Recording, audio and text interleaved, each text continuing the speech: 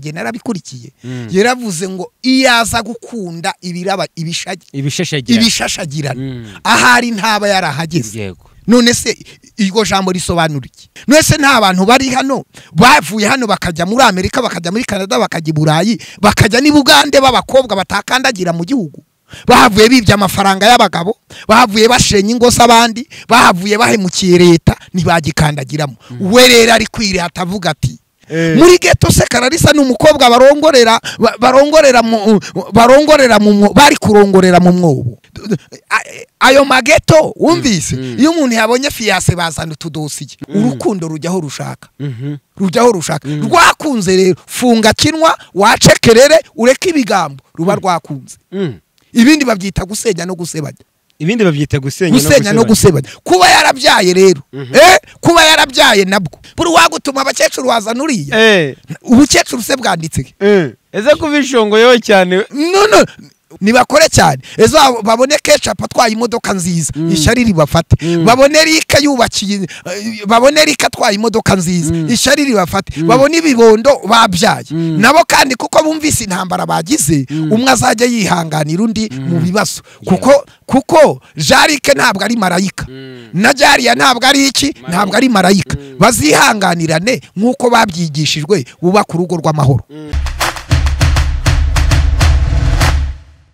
Oh yeah, kasi episode niko nitwarika nizere ko umeze neza cyane ku kiganiro bya Max TV aho waba uhiri uri hose hirya no ku isi reka nizere ko umeze neza. Niba utameze neza nkwifurije kwihangana no gukomera. Turi muri Semporo nanjye nari maze icyumweru cyose ntahagera ntabwo nari meze neza nari maze icyumweru ntakora nshimiye abantu bose bagiye bampamagara abantu banyandikiye. Nagarutse ngo dukomezanye runo rugendo mwibuke gusangiza ibiganiro byacu abandi mwibuke kuduha ibitekerezo mwibuke kudushyigikira no cyangwa se kudusapotinga mu buryo ubwo ari bwo bwose kugira ngo dukomezanye runo rugendo mukore na subscribe. Nari maze icyumweru icyumweru n'ikindi ariko nagarutse meze neza mfite imbaraga mfite inagi.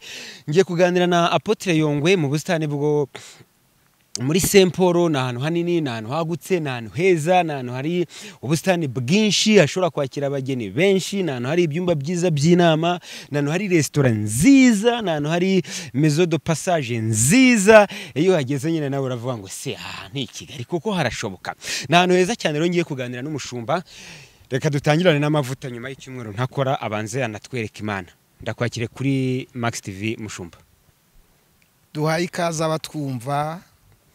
Bari mu gihugu cyacu abari inyuma y'igihugu inshuti za magisi tivi inshuti za poso yongwe inshuti za yongwe onorayini inshuti za yongwe tivi abadukurikira ku mbuga zitandukanye reka tubabwire ngo ayidigire imini digi gusenga ni nonaha gukurikira ijambo ni nonaha no kumva inama dutanga ku byo tugiye kuganira bize kubaho nonaha. Dusenga imana. Nyagasani imana iri mu ijuru mu izina rya yesu turasenze kugira ngo imbaraga z'imana zibane natwe. Iki cyumweru turagisengeye kugira ngo kizabe cyiza ku bazakurikira ibiganiro bya magisi tivi imbaraga z'imana n'amavuta bizayobora ibiganiro byabo byose kandi ntihabe kuvuga gusa abe kuganira kumva no kumenya neza no kujijura abantu ndetse no gusobanura ibikwiriye ibyo ari byo byose byungura abantu kandi bifasha sosiyeti kuri buri muntu wese ahari ku isi. Ha umugisha iki kiganiro mu izina rya yesu kirisito amen. Amakuru amakuru. Amakuru ni meza. Amakuru ni meza. Ni koko wari warabuze kuri ku, biganiro ku mateleviziyo atandukanye byagenze bite?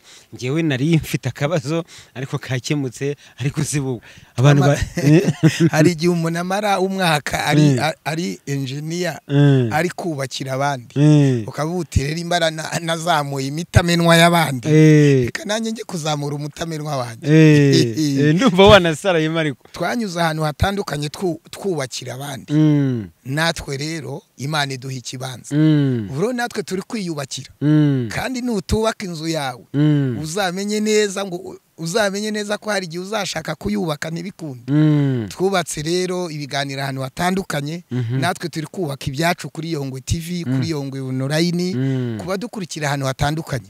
Twari muri bize rero tworoganiza akazi ariko n'abandi turabakunda. Cyane cyane magisi ho ni umuhungu wanjye ni mu rugo. Niyo mpamvu nta yindi. Mm. ubwo wasarayemo na n'amasengesho ni ejo ni ku cyumweru tugira sande tuba turi live mu materaniro tuba turi live kuri televiziyo. Mm. urumva nyine abapasitori ubundi ku wa mbere wakagombye kuba umunsi wo kuruhuka. Ariko ntabwo bikunda abantu baba cyumweru tuba twaravuze cyane. Yego. Mm, Mm, na- rero nkanjye Mm. mba mfite gahunda nyinshi ntabwo naruhuka. Mm. ahubwo ngomba kuvuga. Televiziyo bigeze televiziyo bigeze he? Mm. abanyarwanda isi n'amahanga bose bagomba gukurikira yongo tv. Mm. kubera iki? Mm. kubera yuko ari televiziyo nziza ifite amashusho meza ifite ibiganiro byiza ifite ivugabutumwa ryiza ari ibya gospel ari indirimbo Mm. ari sekira ari imiziki itandukanye ari ibiganiro byunga abanyarwanda n'ibyo kubohoka byose biri gucaho kandi uko bukeye imana nyine iramamaza.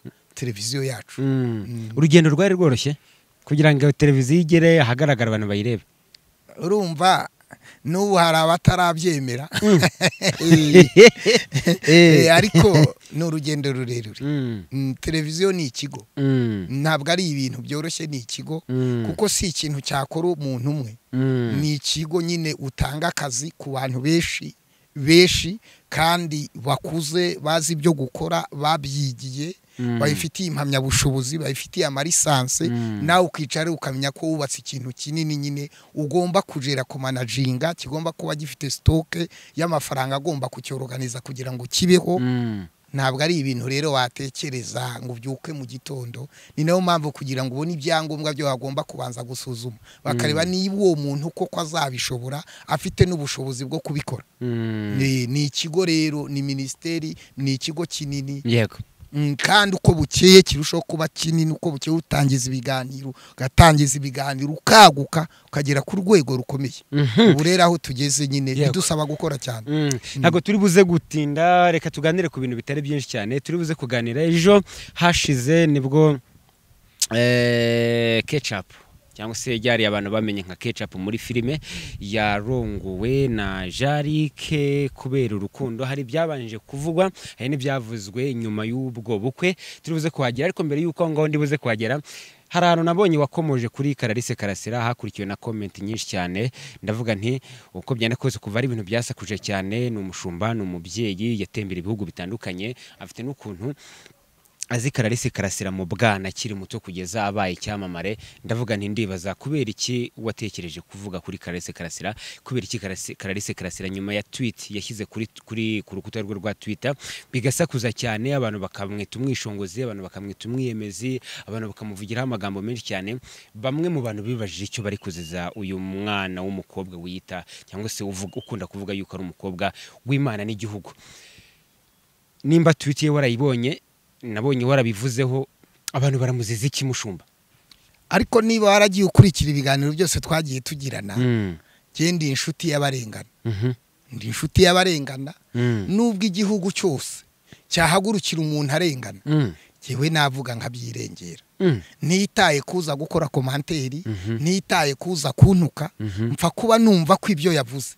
Ari ukuri ari ukuri. Mhm, cyangwa se nubwo abantu bahaguruka warabibonye abantu bahagurukiye reperezanta wa deperi ubwo navuze ibintu bya pasoro muri adeperi birirwa basakuza ku mbuga nkoranyambaga warabibonye ejo bundi abantu bakoreye operasiyo dogiteri gitwaza uburyo nahagurutse mu rusenge wumve nahagurutse nkora ibiganiro niyama abantu bahagurutse ngaragaza ukuri ko nta burenganzira bafite bwo guhagarika umubyeyi wabimitse no kuvurunganya itorero.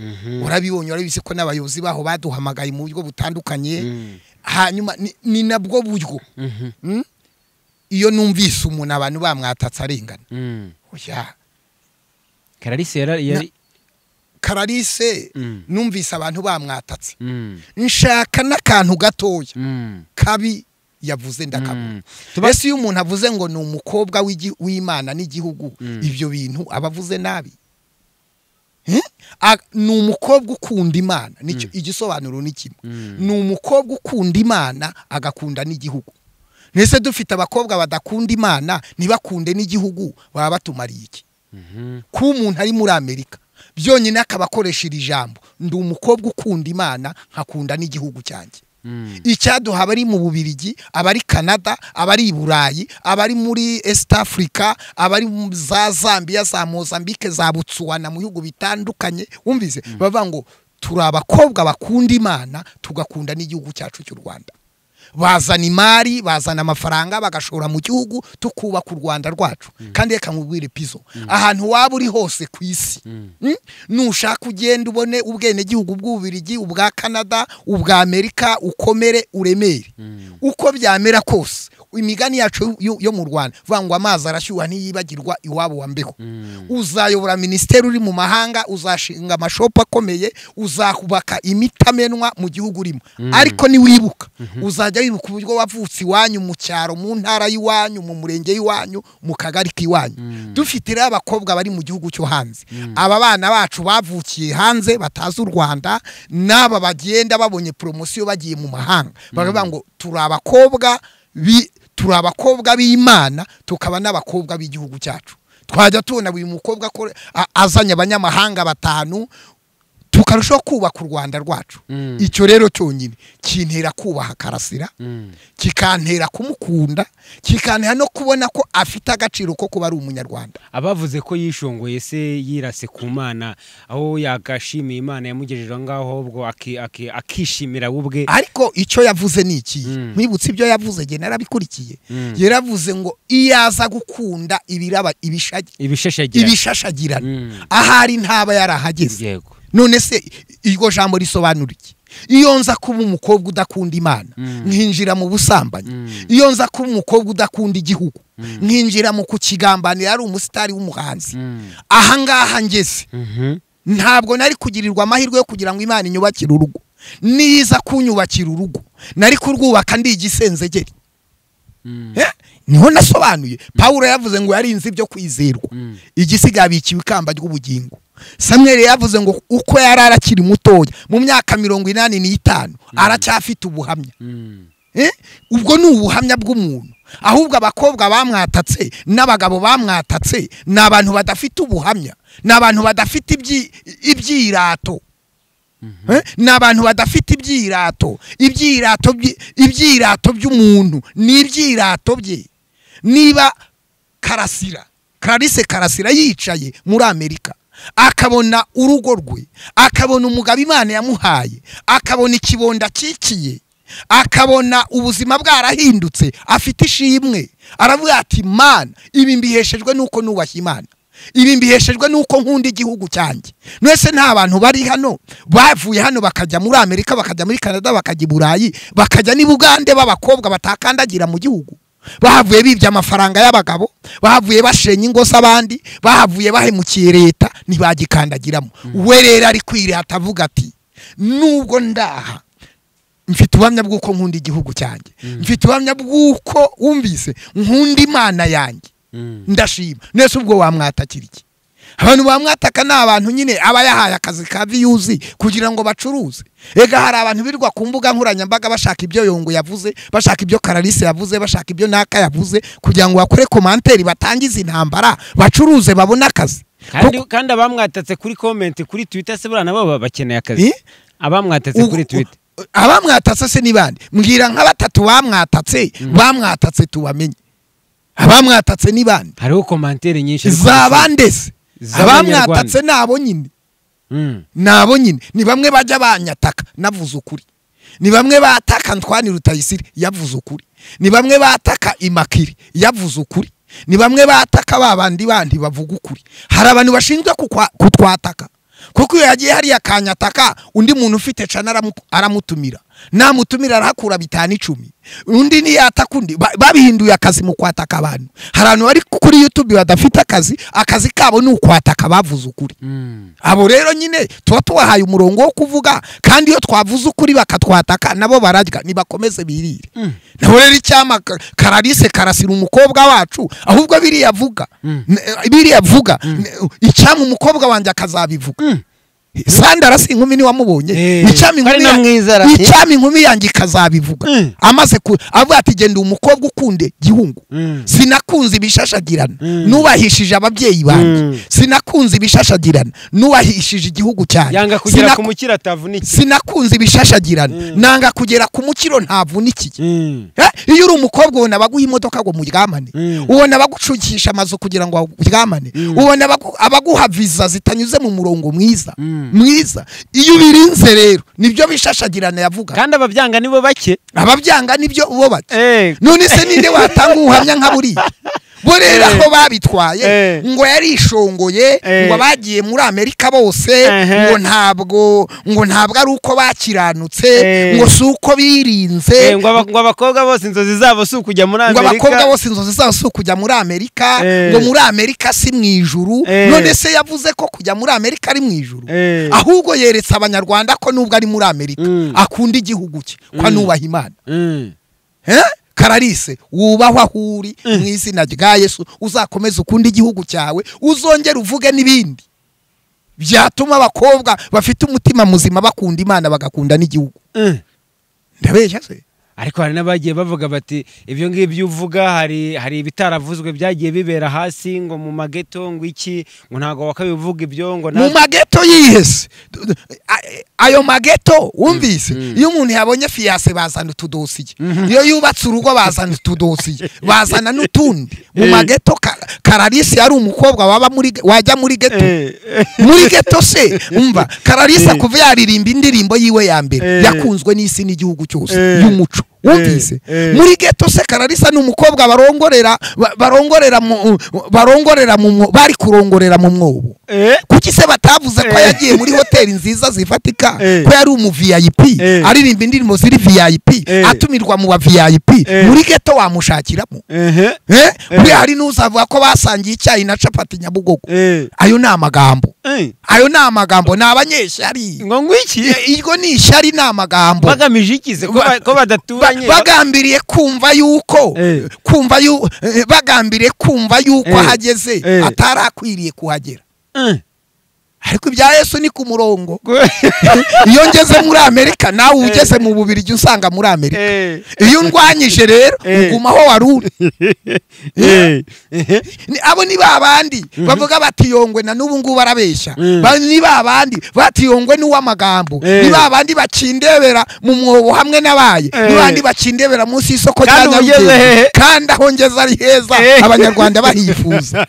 Eh, abo rero ntabwo Eh. tuzababuza. Eh. bari mu kazi kabo Eh. ko gusebanya Eh. bari mu kazi kabo Eh. ko gukora komanteri ku byo twavuze ariko abandi barashima imana mm. nose bibiri avanywe nimumara kurya mugahaga Mm. ntimuzibagirwe ariko nanone bibiri ivuga yuko ntawe atari byiza kwivuga ibyiza no kwitaka ibyiza bagezeho ureka abandi bakabikora inde Ah, iyo mirongo ntiba muri bibiliya Mm. ngo ntabwo ari byiza kwivuga ibyiza Mm. Umunyarwanda avuga yuko ureka abantu bakakubwira aho ibyavuzwe n'umunyarwanda si byo bibiri ivuga. Mm. pawulo avuga ngo bibiri avuga ngo nari umusore ndashaje sinigeze mbona umukiranutsi umukiranutsi arekwa. Biravuga ngo uvuge mu bandi by'imana yagukoreye.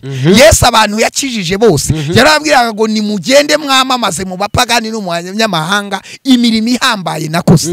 None bibiriya itegeka abantu gutanga ubuhamya no kwamamaza ibitangaza byayo ibuza abantu kuvuga. Mm. imigari y'abanyarwanda nyine. Vugirishe vuguziganya Ehe. vuga uziganya Aha. vuga usa ejo hazaza. Harera imana. Aha. bica mu mpaka. Ayo ni amazina nyine y'abantu nyine. Nuvuga bazakuroga Eh. nugaragaza ko imana yaguhaye umugisha. Bazaza kugusaba. Eh. nuvuga ko ufite amafaranga. Eh. bazakwica bayarye ayo ni amazina yo kunengurana ntahahuriye ariko se ntago- Ntahahuriye. nta- ntago ari byo ntabwo ushobora kugaragaza ko ufite akantu ugasanga imitego ibaye myinshi ibyo bintu ntabwo iyo mvuze ko imana yampaye umugisha Eh. abari hasi bizera ko imana yawubaha iyo mvuze ko imana yanzamuye Mm. abibaza ko imana idakora bizera ko imana izakora Mm.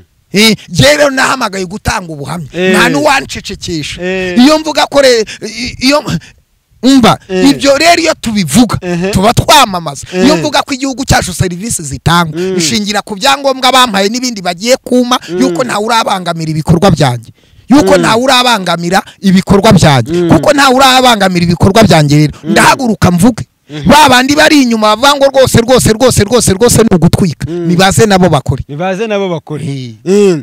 Ariko wa mugani uk- ukomeje kuri icyo ngicyo ngo ngo ngo abantu baravuga ngo ni amashyari ngo nyuma y'u- y'ubukwe harya bavuze ngo nyuma y'ubukwe ngo haza utudosiya haza utudosiye Eh. ngo na- ngo yari indaya dutangira umuntu ngo yari indaya Eh. ngo yabaga muri geto Eh. ngo byagendaga gute Eh. bakazana utugambo n'utugambo Eh. ibyo rero Eh. ntibibuza uwakunze gukundwa bajye baca kerere bafunga ngo ngo iki neza umuntu ushobora kujya hariya ngo ubuhamya bwo muri geto Eh. ubwo buhamya bwo muri geto atatanze arumva aza kuwuzana Eh. akararisa asenya urugo rwe none se reka da Eh. ese umuntu ushobora ni ese wamenya umuntu yaragukundiye iki? Yewe ngiye kurongora abantu bagiye kwa data bukwe. Mm. rwose nkubwire. Yongwe nari umukene mba mu gashamburete te gatoya wumvise nkodesha ibihumbi birindwi. Nta kintu mfite. Mm. ngaho ngeze bihiye. Najyaga mu ivugabutumwa mu ruhengeri nkamara icyumweru Mm. nabona bangaburira neza nkabwiriza nka- nibature saa sita na nimugoroba ngatura. Kuko imyenda yanjye nabaga nyifite mu gakapo Eh. nta yindi mari nabaga mfite mu rugo Eh. n'abana ahantu hari ibyo kurya reka mbabwiriza abadayimoni nimushake abasazi n'abarwayi n'abafite ibibazo. Sinzahava. ngewe nabonye ibiryo. Wampamagara gisenyi nkahita nkomeza gisenyi. Nuko nabayeho mu ivugabutumwa ryanjye imana inkoresha Eh. Ha, ariko umunsi nabonaga fiyazi Eh. abantu barahagurutse bajya kwa data bukwe Eh. bati yongwe arya aho ageze bihiye. Eh. yongwe imari ye ni agakapu gusa agendana. Eh. barahaguruka baransebye bati uwo mwana wanyu umuhaye yongwe bizagenda. Gusa uravugisha ukuri? No bagiyeyo. Njyana abantu gufata irembo nsanga barasopanyije baranga. ngiyeho kabiri baranyirukana na pasiteri sharire w'igikondo nsubiraho na pasiteri na pasiteri nkuye nkuye Eh. nkuye i nyanza Eh. Barakwirukana. Eh, tujyeho bwa gatatu. Ariko kuko imana yari yavuze biraba. Bakajya bicaza umugore wanjye bakamubwira ati yonga ugiye kukurongora urabona inzara itazakwica. Kandi umugore wanjye yari umwana mwiza ushashagirana ubona ko ari umwana. Umva amata atemba mu maso. Oh Bibiane amata atemba mu maso kabisa. Asa neza yitwa Bibiana Eh. ugera ahantu abantu bose bakaranga bakaranga eh. hamwe ati uyu mwana ni mwiza rwose agiye kurongora umukobwa mwiza wuzura umwuka wera akavuga mu rurimi Eh. amarira akamanuka mu maso uzi gutambira imana ariko reka nkubwire piso Mm. abantu barahaguruka bajya kubwica ariko batarabwica imana yo yarahaye Bibiane ku nkumbi akababwira ati ibyo mwavuga byose Eh. sintarongorwa na Eh. ntabwo nzigera ndongora abaye sheri wanjye ndagusohokana nimugoroba uri ni ukuri kw'imana wumvise? Abagabo ariko bose bakunda abagore babo. akabwira ati jyewe Eh. ati mfite iyerekwa ibyo kuvuga ko muzakena. Ati uriya mugabo asenga imana abana n'imana tuzakomera none se ubu ntabwo twakomeye. Natwara imodoka nziza bazana induru narara ahantu heza bazana induru nibamubona kurekara bazana induru Na- uwamwereka ashoreranye n'abana banjye batanu. Ndavuga ni kabisa ibi byavuye ku witeka ubu se ba bandi ko nawe nigeze mbona uza kwihana? Ko nawe ndigera nubagomba mbabarira? Abashatse kunsenyera? Ko nawe uransaba imbabazi. Abantu bazaguma bavuga urugo rwe baruha amezi atandatu rumara umwaka baruha imyaka itanu rumara imyaka icumi rwubatswe n'imana. Ese kubera icyo utivumbuye ngo umureke bari kukugora kuri urwo rwego. Ni- bibiyana wawe. Narivumburaga kandi nzi ko imana izampa umugisha wese amagambo yari kumunaniza kandi yari afite icyo yavuganye n'imana. Mhm. None si cyo? Iby'imana ibyo yababwiraga ubu ntitubituyemo Mm. kwa data bukwe tubanye neza rwose. Mm. ndi umwami ndi umukwe uvuga rikijyana Mm. sibyo baramubanje tubanye neza. Nawe abanye neza. Ibyo rero ni amagambo y'abantu. Ibyo bimeze nk'ibyakurikiye ubukwe bwa kecapu wabibonye? Cyangwa ntabwo wamenye ko bwanabaye? Wasanga utunguje inkuru. Oya, nabubonye. Mm. ubwo se naba ntabonye nkaba narebye iki? Ehe. ndakurikira nk'umunyamakuru Mm. ufite ikigo cy'itangazamakuru ndakurikirana nk'uri kuri social media ndakurikirana nk'uwumva amakuru. Mm. Atandukanye. Mm. Hari ibyakurikiye rero. Zimwe muri komenti nyinshi cyane ziri ku biganiro byakozwe cyangwa se ku mashusho yafashwe mu bukwe bwa kecapu Mm. ni izivuga ziti ya magambo avuga ngo uru rugo ntiruzamara kabiri ntituyakeneye. Kandi koko nk'abantu bakunda ryariya wamamagaye wamamaye nka kecapu ayo magambo ntituyakeneye. Ya magambo avuga ngo uru ntiruzashoboka ngo uru rugo narwo ruzasenyuka bakagenda bavuga ngo nka bakana ibyo ntabwo tubikeneye. Kubera icyo abantu bari gutega undi mwana iminsi. Icyo dushobora kumenya. Mm. muri abo bavuze ayo magambo hari umuhanuzi urimo. Muri komenti ze bariya twapfa kumenya nimba umuntu ari umuhanuzi ni cyangwa atari we abatwitsi babivuze Na- ni muri komenti ni abatwitsi babivuze ntabwo ari imana yabivuze Eh. Eh. Mhm. ese ryariya ubukwe bwe Mm. muri babupanga ninde wari uhari Mhm. Eh? Mm. bakundana ninde wari uhari none se uwo uriya wamurongoye Mm. ayo magambo ntiyari ayazi Mhm. Eh? Yari azi neza ko hari abantu babanye baratandukana yari azi neza ko afite umwana. N'icyemezo cyavuye muri we. Kandi iyo umuntu yakunze ntiwazana ibigambo. Aba yakunze. Bibiliya ivuga umu- umukobwa amagambo witwa wakunze ntakora. Reka ta! Hari umukobwa witwa rasheli muri bibiliya. Eh? yakundanye na yakobo. Base wabo wa rasheli baraterana bakora inama y'umuryango. Baramubwira ati icya mbere yakobo. Iryo zina risobanura uburiganya. Yavutse afashe mukuru we sawu agatsisira. Eh. agundana amahane yarayavukanye Eh. yibye intama yashutse mukuru we amuha udushyimbo amuriganya umugisha. Yibye intama za rapani mva ni umugabo w'ikigoryi wakoze wakoze kwa sebukwe imyaka cumi n'ine ashaka umugore. Wemeye kujyana nawe. Baramusebya yakobo baha ijambo rasheli arabwira ati jyewe sintabana na yakobo. Nta wundi mugabo nzashaka. Nimumveho ndabiyamye. Ubukwe bura aramurongora. Byari yakundana nu- n'umugabo we. Na jarike Eh. ninde wari uhari ninde wari uhari? Eh. icyo abantu bashaka kubatega iminsi jarike ni umusore mubi waba uri umukobwa ut- utararongowe. Ishwi ni umusore mubi waba uri umukobwa umva umva w'umuviyayipi diaspora bamwemera east africa hari abakobwa bamwemera mu rwanda baragundana. Banza unamenye. Uwavuze ibyo yaba wenda ari uwo jarike yabenze. Uwavuze ibyo yaba ari uwo jariye yagize gute? Yabenze. Ibyo ntiwamenya ibyo ari byo. Mm. urukundo ruba mu muntu Mm. kandi rugira impamvu rushingiraho Mm. hari umukobwa nashingiye mu rusengero noneho uwo mukobwa kadiraka ikibaho yari umukobwa ujya kubyina ku wa gatanu akaza ku wa mbere. We yampaye ubuhamya bw'inshuro yakuyemo inda. Ubwoba buramfata. Umunsi yabonaga fiyase abantu barahaguruka bajya kwica ubukwe bwiwe. Baba bati uwo mukobwa yakuyemo inda aha n'aha n'aha yatwise iya tatu turayibura yatwise iya ane turayibura. N'indi yirirwaga kadiraka ibyina ikamaraho iminsi itatu?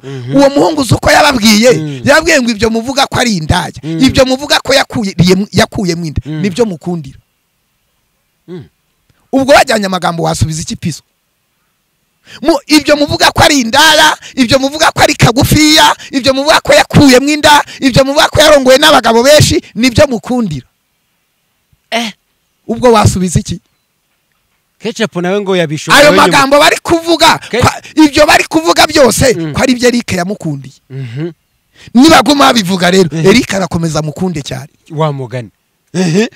Arakomeza mukunde cyane. Kandi nakomeza kumukunda cyane. None rero ko yarongoye umuntu mukuru Eh. byanditse byani- iyo ugiye gusezerana mu- mu murenge Mm. babanza kureba ko mwujuje imyaka. Makumyabiri n'umwe kuri makumyabiri n'umwe makumyabiri n'umunani kuri makumyabiri n'umunani mirongo itatu n'ibiri kuri mirongo itatu n'ibiri. Urukundo rujyaho rushaka. Mhm. rujyaho rushaka. Rwakunze rero. Funga kinwa wacekerere ureke ibigambo. Ruba rwakunze. Ibindi babyita gusenya no gusebanya. Ibindi babyita gusenya gusenya no gusebanya. kuba yarabyaye rero eh? Kuba yarabyaye nabwo. Hari itegeko rivuga yuko si umuntu wabyaye eh? Atazarongorwa. Umufiyemeri ajya arongorwa n'umufiyemeri umusore ku musore Eh. iryo tegeko mu nteko nshinga amategeko nibaritora Eh. abanyarwanda bazaryubahiriza Eh, ariko ibindi bya mbere kerere kerere ibindi ngo Eh. yarongoye iki no no no no Eh. hari umuhungu mugani yakabwiye ati jyewe ntabwo narongora umukobwa nzarongora umugore washatse Mm. Kada- undi yambwiye ati ntabwo narongora umukobwa unduta Mm. nzarongora umukobwa ndusha imyaka umunani Mm. undi akakubwira ari umwe ati jyewe nzarongora umugore unduta ni amarangamutima y'umuntu Mm. we rero urumva naka yari akwiranye na naka naka yari akwiranye na naka Mm. ariko ubundi uriya mugore jariya buriya ubundi bahamagaye abakecuru wamuzanara we ni umwana Eh? na- ni umwana ni ikizungerezi Ni- ngwiki? we ni ikizungerezi wese. bamubonye mu ikanzu uko ameze buri wagutuma abakecuru wazana uriya ubukecuru se bwanditse? Umwita umukecuru yirirwa ahinga umwita umukecuru yirirwa akururana n'ihene Mm. umwita umukecuru yirirwa mu bisogorore akukira inka Ah! Eh. Eh. ese kubishongoyeho cyane no no ntabwo ndicarana nabo Eh, oya ndavuga abo abo ngabo bagize bavuze ibyo Eh. ahubwo wama nk'iteraniro ryabo Eh. nkabihanisha nkategura na yorodani nkababatiza Eh. Biriya ni ukurengera urugo ni rwubahwe. Umuntu yarongoye agafata desiziyo yo kujya mu mategeko Mm. agafata desiziyo yo kujya mu rusengero akarongora. Ukwiriye kubaha uwo muryango kuko abo bantu bakoze umuryango. Mm. kandi abanyarwanda igihugu cyacu kivuga ko abatarasezeranye bakwiriye gusezerana. Igihugu cyacu kivuga ko abantu bagomba kubaka ingo zinyuze mu mategeko. Mm. umuntu rero bakoze ubukwe mu buryo bujyanye n'amategeko ukajya hari ugatangira gusebanya. Ahubwo na- bibaye na ngombwa na ribu yabyinjiramo. None si byo. Umuntu yakoze ubukwe yubatse. Ariko nanone umuntu yemerewe gutanga igitekerezo igitekerezo utatanze. Hirya yo kuba umuntu yasezeranye mu mategeko Mm. hirya yo kuba umuntu yasezeranye mu rusengero amagambo nk'ayo n'ayo gusebya umuryango ntabwo ari igitekerezo. Mhm. abantu batari ko tujya tubona aba- abantu benshi cyane bo mu mafilime ndetse n'aba baba barabyaye akenshi ingo ntabwo zimara kabiri. Iyo iyo minsi baba bari gutega abantu. Ubu se ubushakashatsi ukoze ubushakashatsi mu rwanda wasanga ingo zisenyuka ari iz'abanyamakuru Ish. iz'abapasitori zirasenyuka Cyane. iz'aba gitifu b'imirenge zirasenyuka Cyane. iz'aba meya zirasenyuka Mm. iz'abapolisi zirasenyuka Mm. iz'abo muri ribu ari bo bafite amadosiye zirasenyuka iz'abanyamakuru zirasenyuka umva izidasenyuka ni izandize uhagaze yirinda atagwa Mm. Ah, urugo ni ishuri ushobora kwiga ugatsinda cyangwa ugatsindwa Mm. Ah, ugatsindwa kandi ubonye urugo rwasenyutse wikumva ko n'urwe rutasenyuka. Aho ahubwo abantu bakora izo komanteri niba abantu bihinduye abahatari batagira ingo birirwa batwika kuri youtube batagira ingo bafite ubwoba bwo kuzishinga. Ariko se umuntu agira ubwoba bwo gushinga urugo? Wowe kuki utarongora? Abanyabwoba ba mbere bafite bo gushinga bo kubaka urugo aba mbere ni piso. Eh. amafaranga ukura kuri magisi tv n'ayanjye nirirwa nguha. Kuki utarongora? Umugeni ntaraboneka. Ntaraboneka. Eh. aba wirirwa ukoresha ibiganiro n'abo nyoko yabyaye. Se mwose ibere rimwe. Fata na mikorofone yawe nyivuyemo fata mikorofone yawe mvuyemo buraza tuganire gatoya buraza tuga- eh, tuganire gato buraza tuganire gato Eh, iminota byibuze iminota nk'ibiri niko?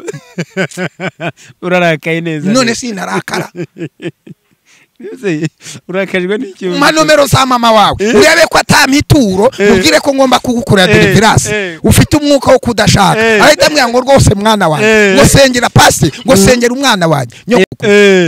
Ariko wirirwa urya capati mu mujyi wa kigali wikatisha hirya no hino unywa za teveri zo Eh. ngo ntaragwira. Eh, hari umugisha imana itazaguha uri umusore Eh. izawurindiriza kugira ngo izawuguhe wubatse urugo. Eh. neza tugana ku musozo rero. Uratanga mesaje ki kuri uno muryango wawe wa kecapu na jarike kuri uno ese wagira muryango ngo iyo mwiza. ntanze ntihagije. Iyo ntanze irahagije mesaje y'ihumure nk'umubyeyi. Yihumure se ubundi babaye. Iki? mesaje nziza rero nyine rwiza. ndabahumuriza ubundi babaye. Abantu baba babateye none se ibyondo ubundi abantu bazareka kubatera ibyondo. Mm. yesu yazuye lazaro Mm. akiza umwana mu mudugudu w'inayini bagiye gushyingura amuhereza nyina. Ageze imbere bati uyu mugabo a- bamwita ko ari umutware w'abadayimoni ko afite bezeburi Mm. ndahumuriza ndabahumuriza mbabwira ko abantu batazongera kuvuga. Bazahora bavuga. Nibakora icyo perezida yavuze. Nimwumve icyo abantu bavuga Ah, nimwumve urusaku rw'abantu ahubwo nimukore cyane. Mm. nibakore cyane. Ejo abo- babone kecapu atwaye imodoka nziza. Ishyari ribafate babone rika yubakiye eh, babone rika atwaye imodoka nziza. Ishyari ribafate babone ibibondo babyaye. Nabo kandi kuko bumvise intambara bagize umwe azajya yihanganira undi mu bibazo. Kuko kuko jarike ntabwo ari marayika. Na jariya ntabwo ari iki? Ntabwo ari marayika. Bazihanganirane nk'uko babyigishijwe bubaka urugo rw'amahoro. Ubundi barebe imbere aho bari kujya banoze akazi kabo barusheho gukunda igihugu no kubaka umuryango. Aba bavuga rero n'ubu baracyamvuga. N'ubu baracyamvuga. Mm. Mm. n'ubu baracyamvuga none na perezida baramuvuga. Mm. ntujye ubona ibyo bamwandikaho ntujya wumva abasakuza. N'abahangara ngo yarapfuye kandi ari, mu nama. Mm. none se urabuza abantu kuvuga. Buri muntu wese iyo ufite igikundiro ugira n'agace kaba ari mu ruhande rw'icyangiro bakwanga iyo ufite iterambere hari abarwanya iterambere ryawe. Iyo uri kuzamuka hari abarwanya kuzamuka kwawe. Wibaho umwanya rero. Umwanya akazi kawe ukanoze neza abandi bazakugarukira. Abandi bazakugarukira. Njyewe nanikundiye ukuntu ucita yayoboye bino birori rwose. N'umuhungu ucita ntabwo asanzwe. Ni umwe mu bantu aza mu bukwe akaba MC akaba umuhanzi akaba umusaza akaba umu byose byose byose yatunguranye hakorewe ibintu bidasanzwe yakoze udushya muri ubu bukwe. Shitani yubahwe. Eh. ikindi ni umuntu imana yahaye ubwenge. Eh. shitani anamukunda cyane. Eh, ni kubera iki? kabisa. Ni umuntu mwicarana mukaniganirira ugashaka defo yiwe ukamubura ukayibura. Mm. ni umuntu kabisa umva. Ni umuntu muganira ukumva ni byiza. Ni inshuti y'abakecuru ni inshuti y'abana ni inshuti y'abapasiteri ni inshuti y'abapadiri. Ntiwamenya shita Ka- rwose ni umwana mwiza. kandi cita dongo iyo muri kumwe kukuganiriza byanze arakuririmbira. Nimba ukunda medi aba medi. Nimba ukunda hositine akaba hositine nimba ukunda yongwe akaba yongwe. Ariko mugatandukana. Mu by'ukuri Wishimye. niyubahwe. Ni Mm. umwana mwiza. Sibyo? No, mm. ni umwana mwiza niyubahwe kandi nawe yarabibonye yuko abantu bamukunda. Mm. yarabibonye mu bukwe bwiwe Mm. ko abantu bamukunda abantu baramutwerere ku migabane yose y'isi. Nanjye nakoze ikintu gikomeye mu bukwe bwiwe. Sibyo? Ni umwana mwiza niyubahwe azakomera azarushaho no gukomera cyane. ni ikindi imana ni- yamuhaye umugore mwiza. N'umugore we ni umwana mwiza rwose ndahamya neza ko afite urugo rwiza. Kuba rero umuntu yamukoresha mu bukwe bwiwe waba ubonye ikintu gikomeye umuntu ugukoresha uranshyigikira nanjye? Eh? yewe. Katwoye kubesha abanyarwanda. Wenda wowe numbwira ko ugiye kurongora uzabwire mama wawe uzampe nomero ya mama wawe. Tubanze tu- tuba nzashyiraho komite ibanza kubigenzura Eh. kubigenzura. Imbara wabivugiye ubu umwana aba yiga garidiyeni oya ko noneho ni ejo bundi oya niba ari ejo bundi se nawe urabizi Eh. nawe urabizi ko Eh. no mu bw'abandi ndahinda Eh. haswe mu bwawe Eh. oya nzaba nahinze Eh. rwose Eh. kandi sinzi n'impamvu utarongora ikibazo ni uko wazarongora ntayafite Eh. kandi wakagombye kurongora muri iyi minsi ahari amafaranga ntabwo uzigera uyabura uri umwe mu bantu nawe imodoka zirahari nziza Eh. z'amavewiti Mm. uzagendamo Mm. amatiyegisiyere Mm. amafaranga arahari amasare arahari amakamera meza n'abanyamakuru Mm. televiziyo ubukwe buzacaho live Mm. televiziyo irahari Mm. wenda ubwo urindire radiyo mu minsi mike ndaba nayishyizeho iyongwe fm Eh. kugira ngo hose bizavugwe kandi umugeni nawe arahari narahari arahari umugeni ntabwo mbizi ko ahari Eh. kuko wasanga bucya wahinduye simbizi. Eh. ariko reka tubiharire imana. Isaha yawe ntizarenga. Mm. kandi uracyari mutoya ntabwo urasaza Mm. kandi nta muvumo nta karande ufite. Mm. imana doreza izagushyigikira kuri iki ngiki kubera iki? Umubare munini w'abantu batakifuza kubaka ingo. Iyo uganiriye n'ibyibuze n'urubyiruko icumi hejuru ya kimwe cya kabiri uba wumva badafite intumbero yo kubaka. Kubera iki? Ni ibitekerezo- byo mu butayu bafite Mm, no kutamenya ijambo ry'imana. Mm, Mm. urugo ni umugambi w'imana. Ni umushinga imana yize mu ngobyi ya edeni. Ubwo yasinzirizaga adamu ubuticura imukuramo urubavu ihasubiza inyama rwa rubavu ikuyemo imuremeramo irukuramo umugore imwita eva Mm. hanyuma arangije imuha adamu. Mm, icya mbere abantu bakwiriye kumenya ko urugo ari umugambi w'imana. Mm. umuntu wese waremwe imana yamuremye kugira ngo azubake umuryango. Abantu ko bakomeza kuvuga ko urugo ari ahantu abantu batakibonera ibyishimo. Mbere hari ahantu ho kubonera amahoro n'ibyishimo ariyo mpamvu babyitaga ijuru rito ariko abantu bose bavuga ati ahubwo ni akagereza gato. Eh? Barabeshya cyangwa ni uko icyo baba ni ikinyoma. Mm. ni nk'umwe yavuze ngo nta myaka ijana. Mm. wumvise icyo ni ikinyoma. Mm. urugo ni ibyishimo. Mm, reka nkubwire. Mm. nta kintu na kimwe kiri ku isi wama. Mm, ngo nguhe umwe mu bana banjye kandi mfite batanu. Mm, niba hari ibyishimo bibaho. Mm, nubwo waba uri mu rugo iwawe Mm. bagategura ubugari cyangwa imvange Mm. bya biryo byoroheje. Ukicarana n'abana bawe ku meza nta byishimo nk'ibyo bibaho. Ibyi- ibyishimo bya mbere imana itanga kubona umwana wavuye mu maraso yawe agakurira mu biganza byawe agakura ukamureba atambutse imbere yawe cyangwa mwicaranye ibyo ni byo byishimo bya mbere. Ntawe uba uri mu rugo ibyo byishimo atabibona? Inde? Ntawe uba wubatse ariko ibyo no no byishimo no atabibona. no urugo urugo urugo ni umugambi w'imana. Mm. icya kabiri urugo ntabwo ari akagereza. Mm. urugo ni inzu y'ibyishimo n'amahoro. Mm. ahubwo satani ashobora gutera urugo kuko abantu batabaye maso. Ariko tuvuze ngo urugo ni gereza ngo ntawe ubyifuza. No no no no no. Nta kintu cyiza kiryoshye nko kuba nko kugira urugo. Urugo. Ahubwo urugo bisaba koroherana. Kumva rero umuntu akubwira ngo jyewe sinzashaka uwo ni umwuka wa satani wamufashe. Ngo ngo, ngo hakugira ngo nzasazwe n'umugore. Kuki wiyatura ko umugore wagusaza? Hari abantu bakundana mu rugo ijana ku ijana. Kubaho nta muntu ukubwira amakuru. Kubaho mva kubaho ibyo utinya ni byo imana yakuremeye. Ibyo utinya ni byo biri mu mugambi w'imana ukwiriye kubikora. Abantu ntibigishwa. Nuburira umugisha rero nuburira umugisha mu byo wakoze ntuzumve ko n'abandi bawubuze. Hari abantu bubatse ingo z'ibyishimo. Utatandukanya urukundo rw'umugore n'umugabo. Utatandukanya urukundo rw'umuryango. Rw'umuryango twe tuzubatse twumva ari ibyishimo byuzuye. Twe tubyubatse twumva ari feva imana yatugiriye yatugiriye. Abagenda bavuga ngo urugo si ngombwa ngo ni akagereza ngo gusezerana n'umugore ngo ejo mugatandukana kucyumva ko batatandukanye. Abo babivuga ko se na ba nyina batatandukanye. Abo babivuga bakwigiye ku beza bafite ingo nziza zubatse neza bakareka kwigira ku babi. Abo batanga ubuhamya bashishikariza abantu kudashaka ngo ingo ni ibibazo. Abo bakwiriye kubireka. Izo ni inyigisho zisenya abanyarwanda baba bari gutanga. Nicyo navuga. Reka tugane ku musozi urasoreza ku kirere umushumba. Icyo nsoreza ndabwira abantu ngo nibatinyuke. Mm. nibashaka akazi. Akazi si ugusebanya. Akazi si ugukora kuri komanteri ku byo umuntu yavuze. Akazi ni ariko uguhaguruka umuntu wese agira uburenganzira ese kuki mwanga ko batanga komantere? Indezi. buri wese agira uburenganzira bwo uburenganzira bwawe se gute? Winjira uko umuntu yariye n'uko umuntu yarongowe kubera icyo urabishinzwe? Urabishinzwe. Ibyo se biraza kukwinjiriza iki?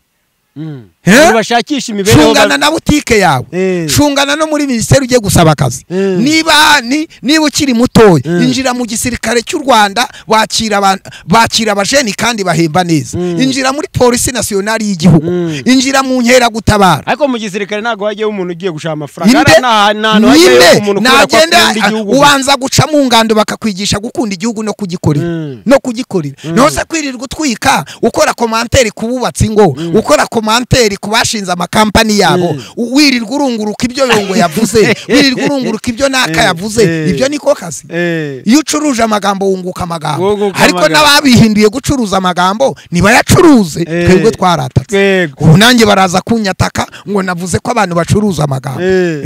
Nanjye ncuruza kuvuga ncuruza kontete Mm. kuri yongo tv ariko kontete ncuruza nakagombye kuzireba. Si ukwinjira mu buzima bw'umuntu si ugutega imitego ngo ejo urugo rwa naka ruzasenyuka Mm. Oya. yego ni byo ngibyo rero ndamushimiye cyane yongwe mukomeze gukurikira ibiganiro bye kuri yongwe tv ndetse no kuri yongwe youtube channel yiwe ndetse mushobora no gukurikira amakuru atandukanye kuri www akadomo rwa cyangwa se yongwe www yongwe akadomo rwa ukajya ukurikira nyine gahunda zose zitandukanye kuri yongwe tv ndabashimiye cyane. Of course kasi epizo that's my name. Wibuke gusharinga kino kiganiro ku bandi bantu kugira ngo kigere ku bantu benshi cyane.